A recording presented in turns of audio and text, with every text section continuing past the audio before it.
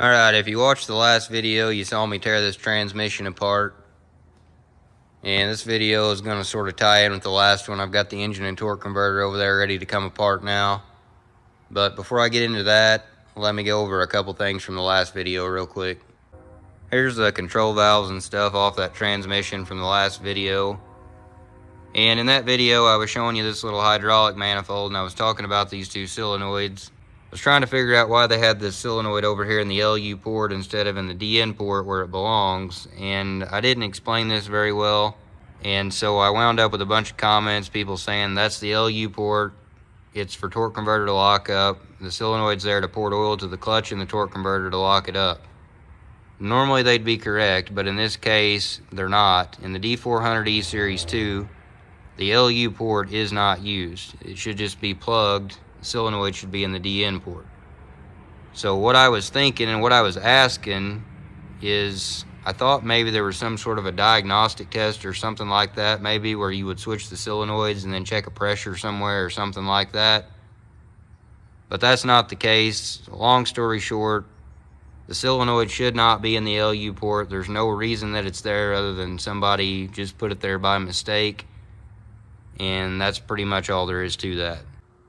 Okay, moving on to the topic of this video. This is the engine and torque converter that came out of the same truck that the transmission from the last video came out of. So this is a 3406E 9AP prefix machinery application engine, 14.6 liter displacement.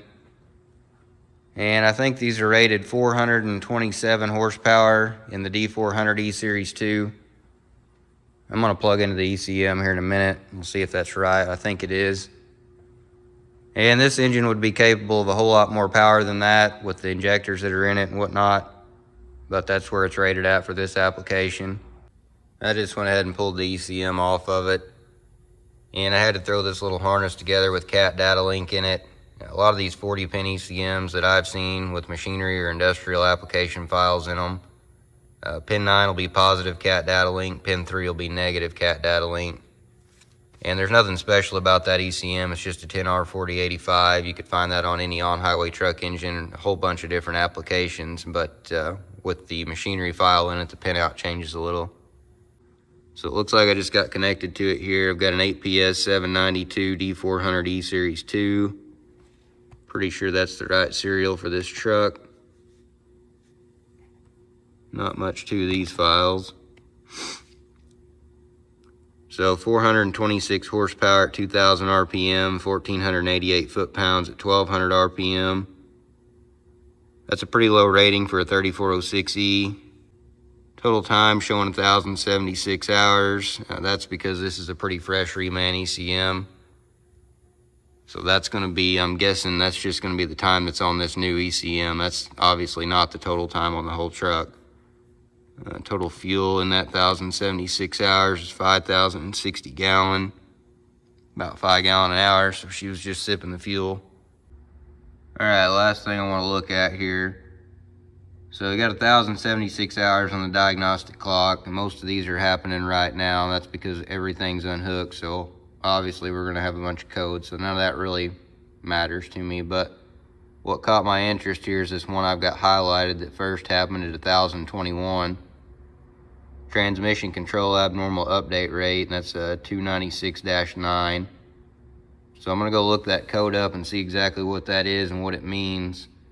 That very well may have something to do with the reason they quit using this truck. All right, I looked that code up in SIS, and what I'm finding for 296-9, they're calling it unable to communicate with transmission ECM.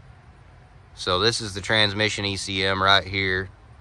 And there's multiple different reasons why the engine ECM wouldn't be able to communicate with this ECM. Could be a broken wire, bad connection, who knows. I guess the only one I'm reasonably going to be able to pinpoint would be if this ECM actually died. So not going to mess with it right now, but maybe at the end of the video I'll come out here and pull this ECM off, try to communicate with it, and try to figure out if it's even still alive.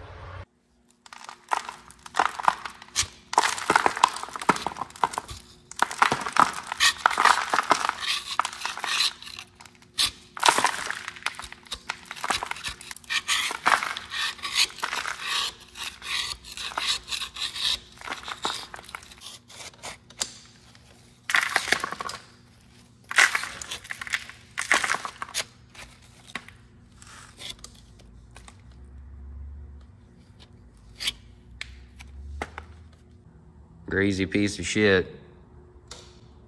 I didn't pressure wash it because there's too many open holes between those hydraulic pumps over there and this flywheel housing setup with these pump drives and whatnot. I didn't want to get water and all that stuff. I'd rather just tear it apart dirty. This engine's got a rebuild tag on it from Holt Power Systems. I think you can read that. Rebuild date, June 2003, and the work order number is LGO or LG0 1704. So that doesn't say a whole lot for the original build on this engine. This is about a 2000 year model truck.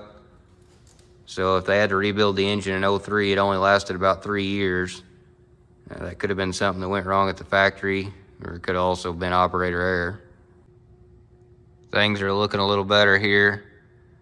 Got the wiring harness off of it, fuel lines off of it, starter's gone. It had a pretty new starter on it.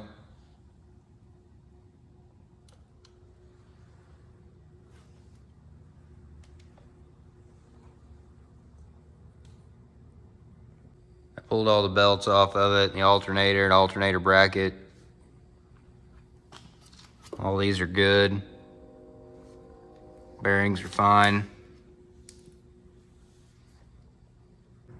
Got the pulleys off the front of it crank dampers off, front engine mounts off. All these oil coolers here are all still together. Let me explain this setup and what's going on here quickly. So this is the engine oil cooler, pretty much the standard oil cooler you're gonna find on most any 3406E out there. And then these two bigger coolers back here are where things get a little more specific to this application. So this upper one, that is the brake oil cooler. The brakes on these trucks have oil that continuously flows through them to cool them, and then that oil is in turn sent through this oil cooler to be cooled down. This lower cooler is the transmission and torque converter oil cooler.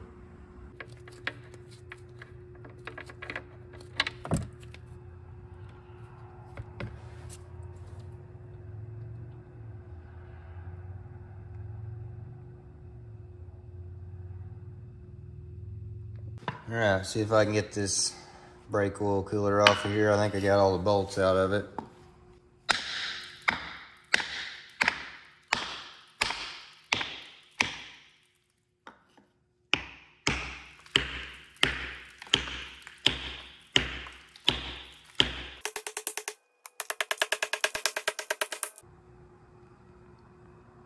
Do you see that bolt right there?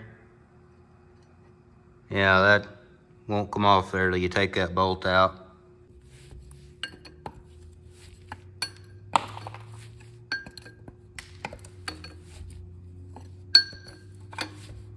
Should work a lot better now.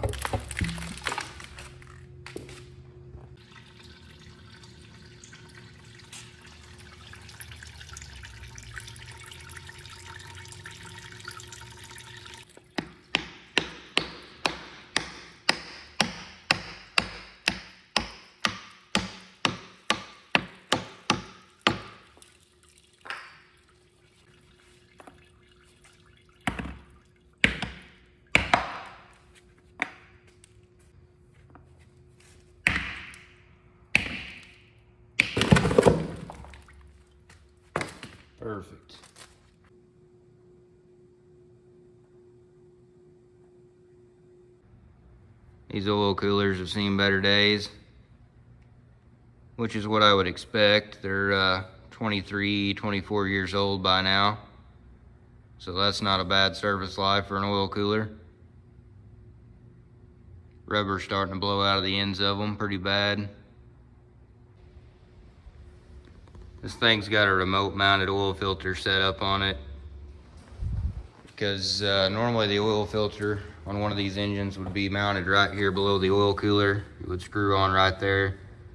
But the way these sit in the truck, you'd never be able to get to that spot to change the filter. So that's why they remote mounted it over there on the other side.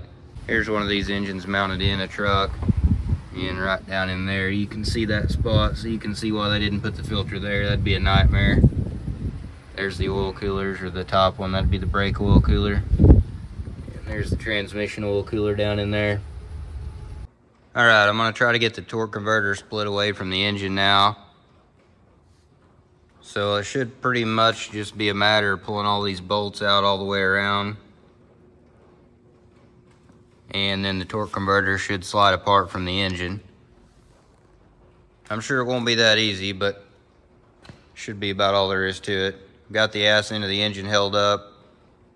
Got all the bolts out of the torque converter housing all the way around now. Still don't really have any kind of a gap here at all. Very, very little anyway, so that's kind of what I figured. There'll be a pretty snug fit between the torque converter housing and this ring that bolts onto the flywheel housing. At least I think that's gonna be a big ring that's bolted onto it. I've seen some uh, 3500 series 3508s set up that way. So um, put this little plate back on here. This is not the ideal lifting apparatus, but it's what I'm gonna do. So this whole engine torque converter, the whole rear end of this thing is hanging in the air right now by this uh, quarter inch chain. That should be fine. What I'm gonna do now is let this thing down. This is the flywheel housing right here. It's gonna sit down on these blocks. It's gonna leave the torque converter off the ground and then I'm gonna come back and grab a hold of the torque converter and then hopefully using this hoist, I'm gonna work that apart. That hoist will roll towards me and hopefully separate these two units. Well, hadn't been real easy, but I think I've got it on the move now. Got a pretty good gap opened up here. Been beating on it down here on the bottom of this torque converter housing with that oak block right there and a sledgehammer. And then I've been beating on this side the same way. That little finger that sticks out there. And then I've got this come along deal rigged up here. Putting some good firm tension on it. It's not pulling real hard. If it was, it'd just pull everything down off the blocks. But it's just pulling hard enough to keep that nice and tight what happens when you've got something that seals together like this with a firm slip fit and an O-ring, you can beat on this thing all day long and it may flex out just a little bit when you hit it with the hammer, but the O-ring will pull it right back in and you'll never gain on it. But if you can put some good firm tension on it and then hit it, you'll slowly gain on it and that's what I've been doing. So I think it's just about ready to let go. Let me try to catch this on video.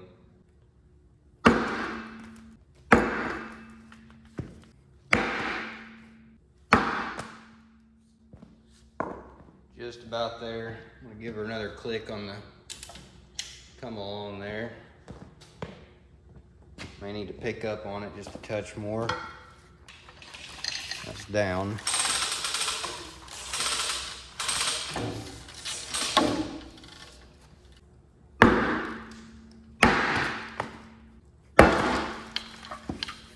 There she is. All right, I've got an engine and a torque converter and they are not one piece anymore so that's real good. This is set up just like I thought it was going to be. There's the big ring that bolts to the flywheel housing and there's some gears on the back side of this flywheel that are driven which are in turn driving these two pump drives up here. So that just splines into the flywheel right inside of there that's how that's driven. I'm gonna pull these two hydraulic pumps off the engine next and get them out of the way. So I'll explain a little bit about these real quick. Um, the truck uses four main hydraulic pumps during the normal operation of the truck. Two of them are right here. This bigger pump is the steering pump. That's a piston pump. The smaller pump that piggybacks off the back of the steering pump is the brake pump. That's also a piston pump.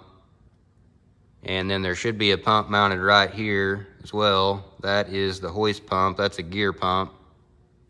And then the fourth main pump would be mounted right here to the torque converter. And that is the torque converter scavenge pump slash transmission pump.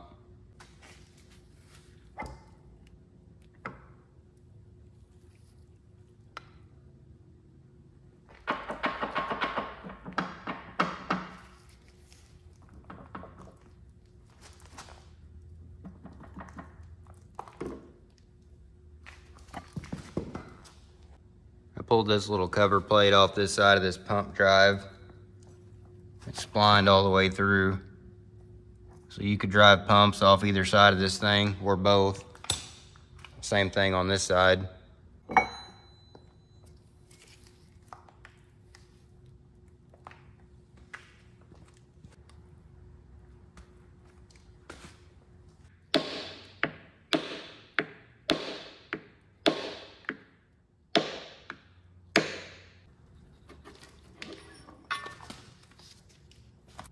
There's the adapter ring deal that I just pulled out of there. It seals into the flywheel housing with an O-ring just like the torque converter seals into it. There's shit everywhere, so I'm gonna regroup, clean up a little bit, and then I'll carry on. That's better. I'm gonna drop this flywheel off here now. Nothing to that, just pull those 12 bolts out and it'll come off there. And then after that, I'm gonna swing the hoist in here, pick this thing up drop the oil pan off of it. And then I'll get the engine block sitting on wood blocks. And then I can pull the flywheel housing, front cover, get this stuff off the side, and then it'll be time to pull the head off. Okay, I got her hanging in the air, got the pan off of it. Didn't find anything in the pan that shouldn't be there at all.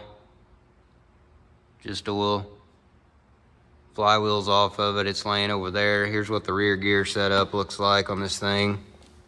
So you've got this gear here that's press fit onto the back of the crankshaft and it's driving these two idlers, which drive the two pump drive gears.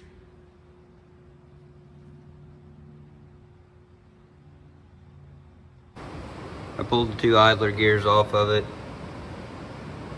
Nothing to that. You just take the uh, three bolts out, work them back and forth a few times and they'll come right out of there by hand.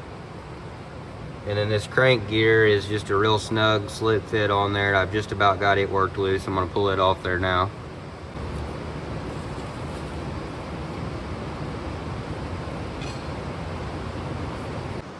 That flywheel housing looks like it's probably 200 plus.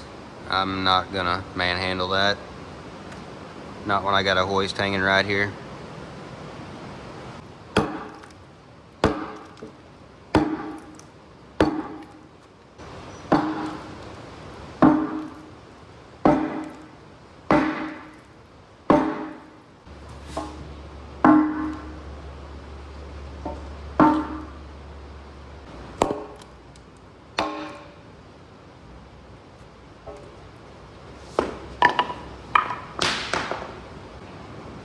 It's raining pretty good out there. I don't know if you can even hear me, but uh, when I get one like that that won't let go, I just come in here and I fold the lip down on the inner part of this seal, and then that'll let the outer part of the seal slide right over it and come apart. Another option would be to just pull the seal completely out before you even start. That's, that's really probably the smartest option, but I don't know, I never do it. If I was very smart, I wouldn't be doing this shit to begin with.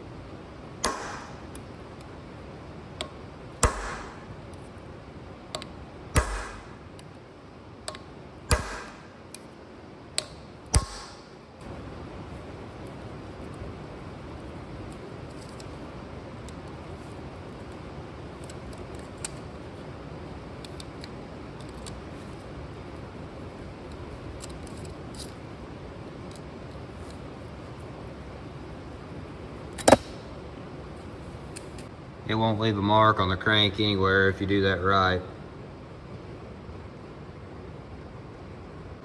Alright, I'm going to get all the rest of this stuff off this side of the engine. Engine oil cooler, oil filter base, water pump, regulator housing, turbo, and exhaust manifold. Then I can pull the front cover off of it and the head will be ready to come off after that.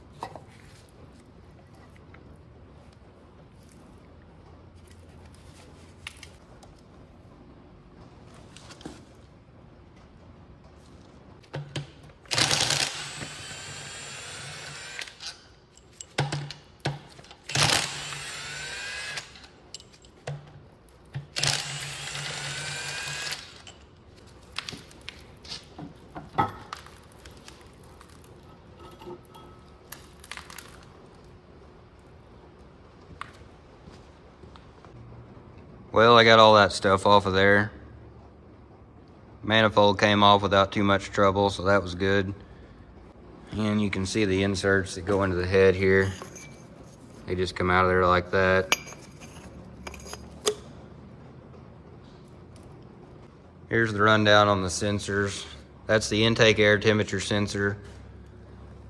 This engine is using the side crankcase breather, not my favorite, but it is. So that's already off the engine, it's right here. So that is the atmospheric pressure sensor right there. Uh, manifold pressure sensor, also called boost. That's a speed and timing sensor. That's a speed and timing sensor. You can see that they're both reading off the cam gear, which is not here anymore, but there's one of them right there.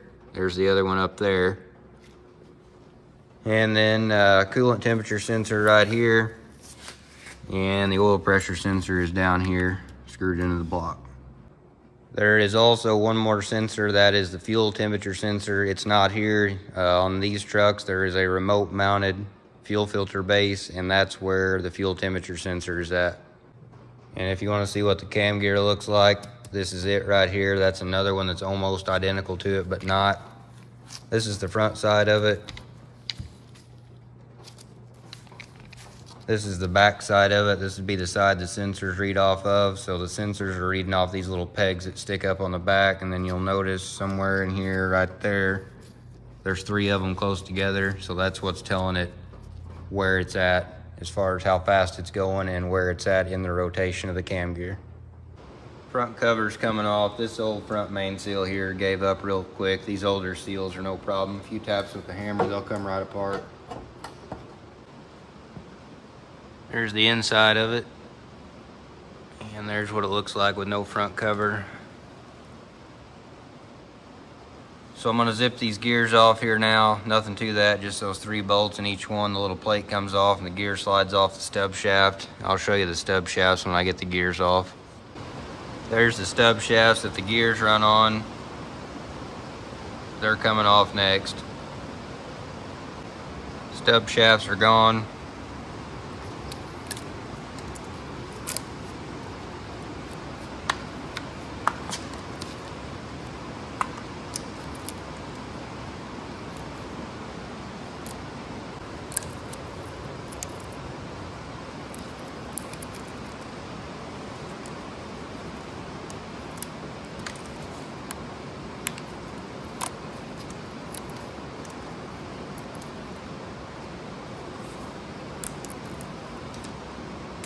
All right, I got the front gear plate pulled off of it.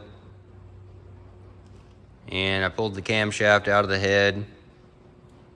Sitting right over there. There's the camshaft bore.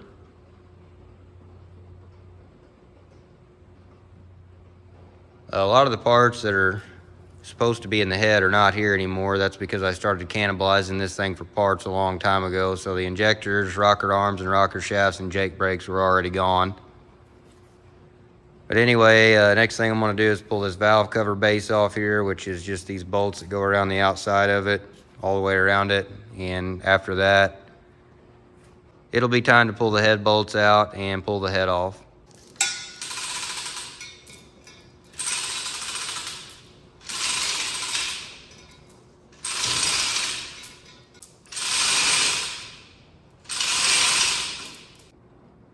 All right, here's the bottom of the cylinder head. Everything I'm seeing here looks really good. I don't see any cracks anywhere. So that head should be a good candidate for rebuilding. Usually they're not, especially when they come off of an on-highway truck engine, but Machinery and industrial applications are a different deal. They run higher RPMs. EGTs are typically cooler because of that, and they're just not nearly as bad about cracking heads. No surprises here with the cylinders. They're showing some wear, but nothing, nothing too bad. They look polished on this camera. They're not as bad as they look.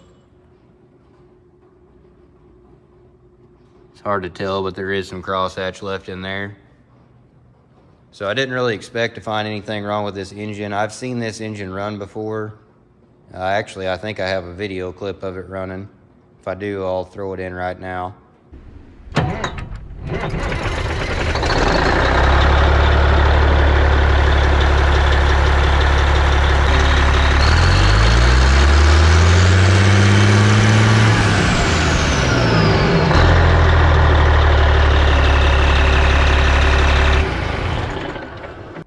Uh, really, the only reason I'm even tearing this thing apart is because I need the crankshaft out of it for a customer. If it wasn't for that, I probably wouldn't even be doing this.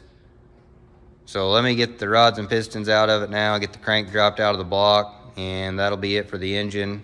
And then I can get onto this torque converter. And just a quick note, when I was talking about these things cracking heads a lot in an on-highway application, they'll typically crack them in between valves, like right there where that little recessed area is the most common spot and it's not something that generally causes any real problem. It usually doesn't go to water or anything like that unless the engine gets overheated. It's just one of those things where when you've got a head that's got a crack in it, do you really want to rebuild that head and use it again? I don't. I pulled the spacer plate and the spacer plate gasket off of it. It's laying right there. So here is the bare engine block deck.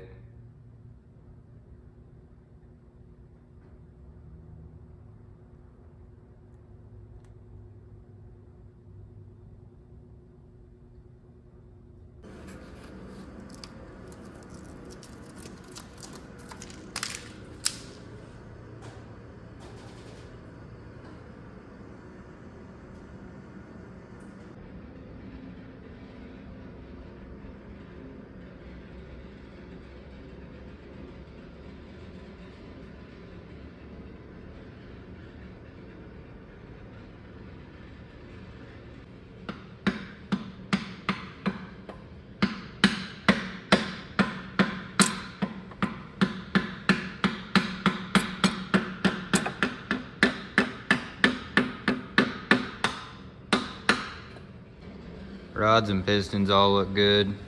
Nothing unexpected, no broken rings or anything like that.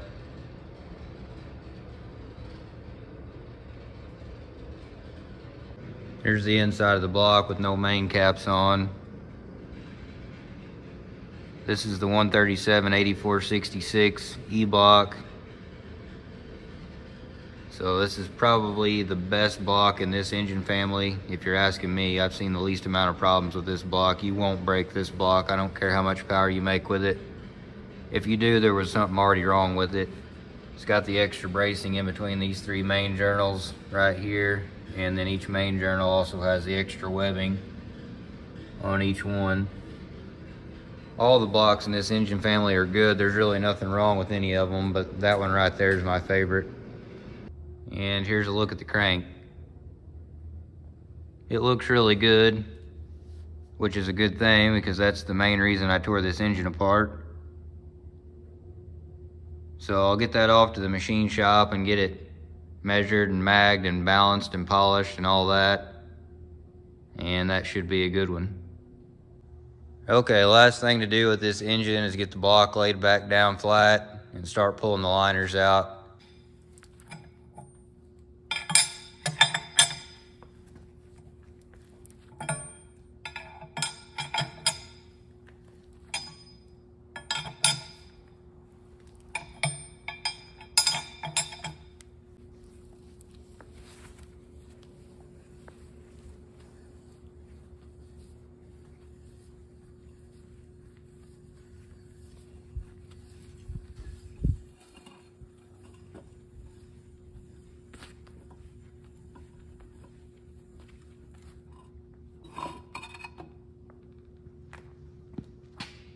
All right, I got all the liners pulled out of it. Everything looks pretty good. Grab this light and we'll take a look at these lowers. From what I've seen so far, they all look pretty good with the exception of number five. You don't really know for sure till you get them all cleaned up real good, but I think most of them are gonna be just fine without any machine work.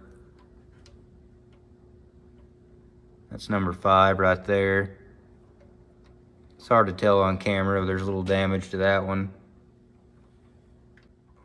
But all in all, pretty good. I think I'll get away with probably only having to fix one or two out of the six, which is a good thing. A block that doesn't need a bunch of work in the lowers is worth a lot more than one that does. takes about oh, roughly $2,000 to fix all six of them at the machine shop. Now I can move on to the torque converter.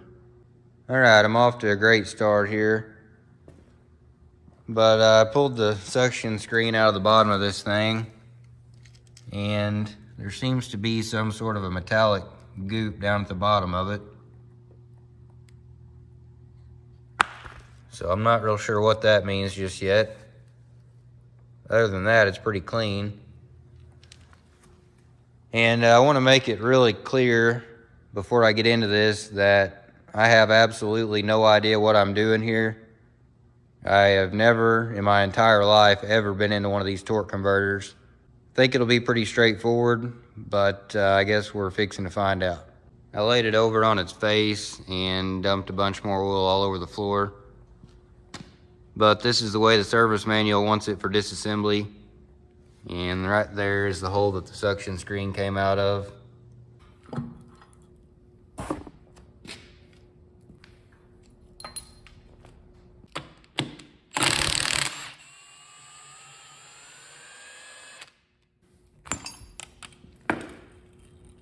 That's a shim that just fell out of there.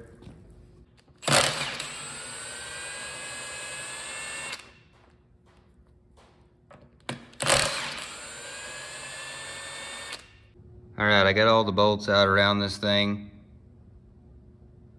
And there's two forcing holes in this case, one of them right there, one of them over here.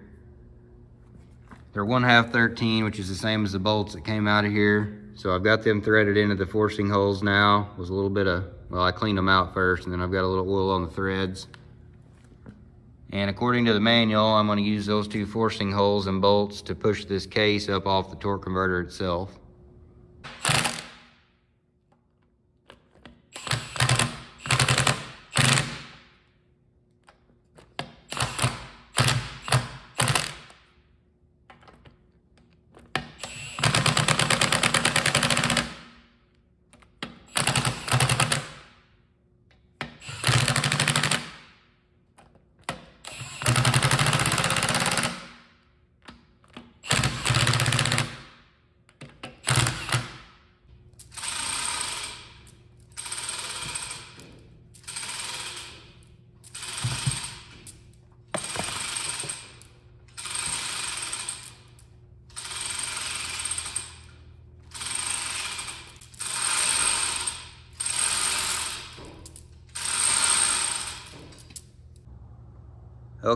The torque converter. manual says that weighs 397 pounds and it says the case weighs 338. Next thing it wants me to do is flip this over and get it sitting opposite of the way it is now.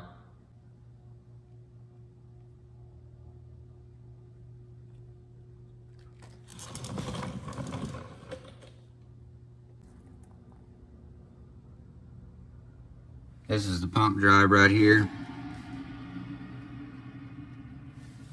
So that right there is driving this spline collar right here, which the transmission and torque converter scavenging pump splines into. And then that gear is being driven by this gear right here.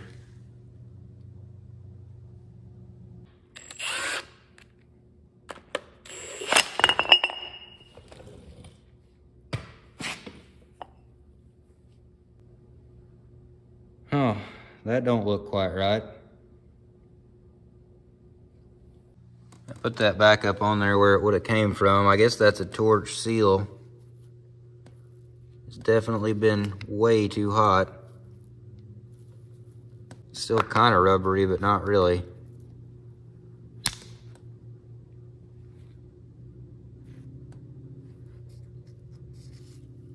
Okay, next thing to do is take those two bolts out and this little plate off. Not looking too good in there. Flip back over again now. Next thing to do, it says, is take these bolts out around here, pull this cover off, and uh, Get these O-rings off of here.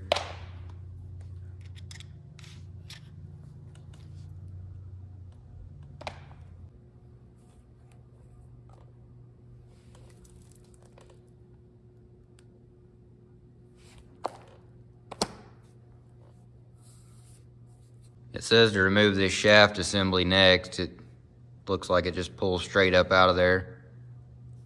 So I'm gonna take this bolt.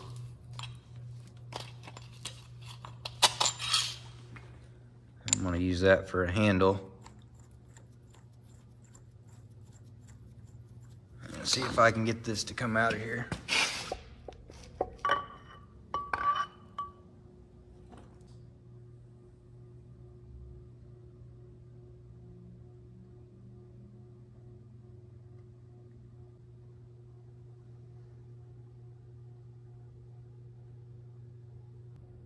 Pulled this snap ring out of there. It was right down in there. That's what holds this carrier assembly to the rest of this unit. So I'm gonna pull that off there now. Here's that carrier assembly that I just picked up off there. There's a bearing down in there. It looks fine. I don't see anything wrong with that unit at all. Next thing it says to do is pull this snap ring off of here and then take all these bolts out all the way around and then I can pick that up off there.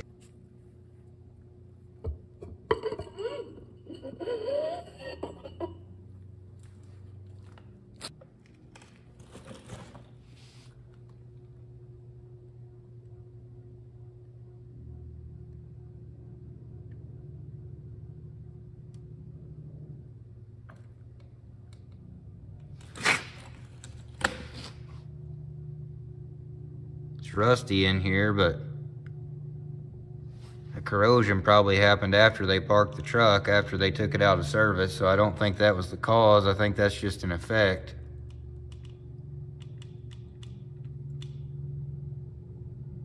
Looks like maybe a little more of that metallic goop stuff down in there. But I'm not seeing anything that's destroyed or any obvious signs of failure here yet.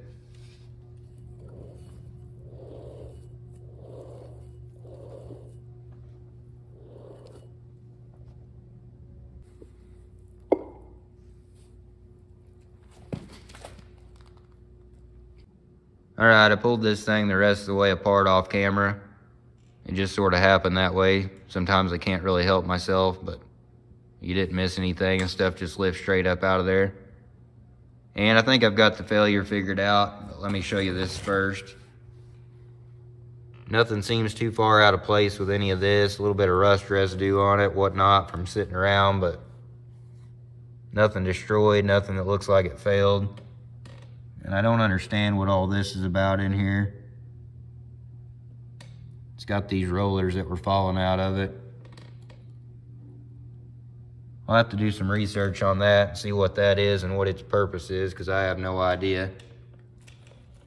And the oil that was coming out of here had some metallic particle in it that looked real similar, pretty much identical to what I found in the transmission valve body in the last video.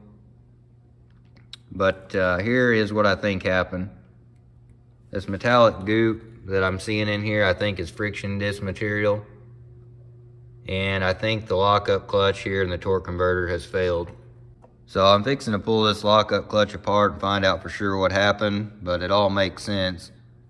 As this clutch started to fail, it would have gotten really hot because the disc would have been slipping.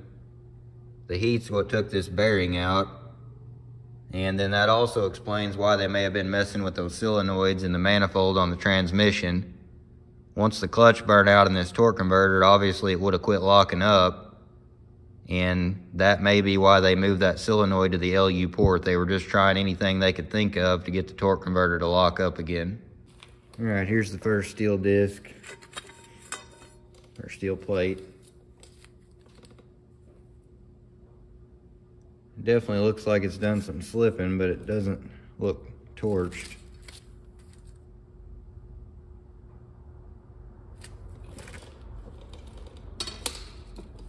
Here's the first clutch disc. I can already see there's plenty of friction material on this side. It doesn't look too bad.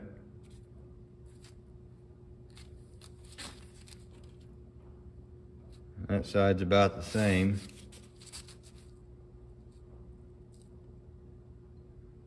Okay.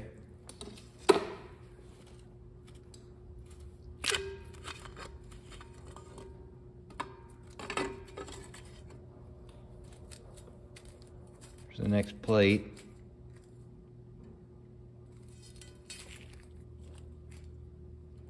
It's definitely done some slipping, but it's not completely smoked.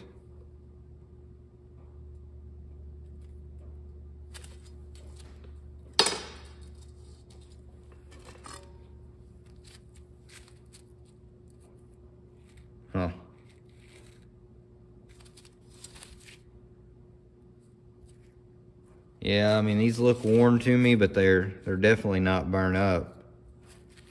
I really expected to see them where they were just completely flat, smooth, just smoked, but they're not.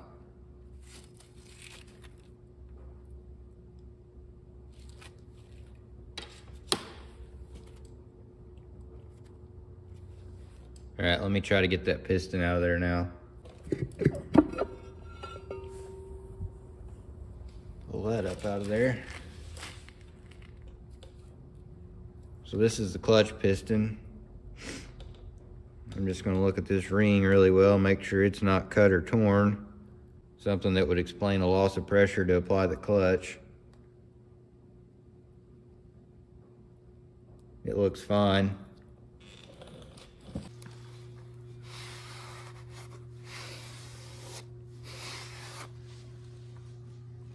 This looks heat discolored to me. I don't know if you can really tell on camera there, but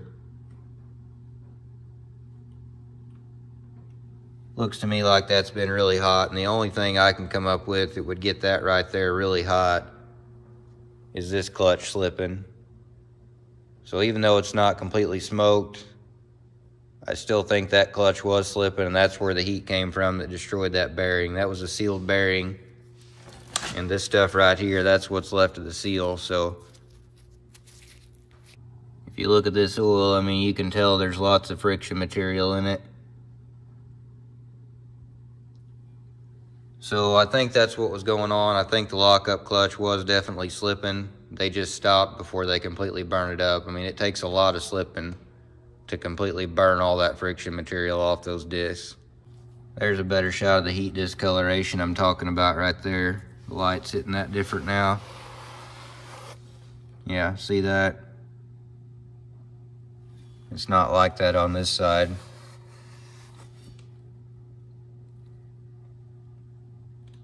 I don't know, that's the best explanation I got. Back to this thing real quick before I forget. I figured out what this is. This is a one-way clutch.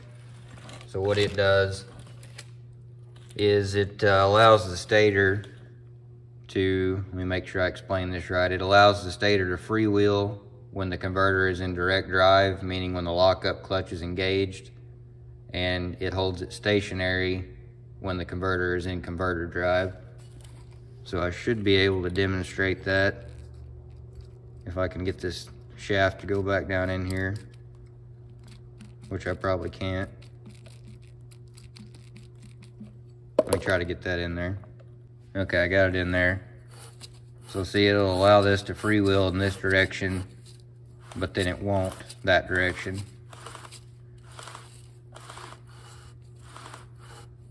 So it's just a one-way clutch. All right, that's pretty much it for the torque converter.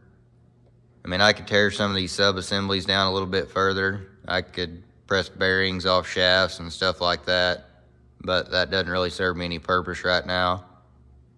What I do want to do though, before I finish this video, is run out there and grab the powertrain ECM off the side of that cab. I showed you that towards the beginning of the video.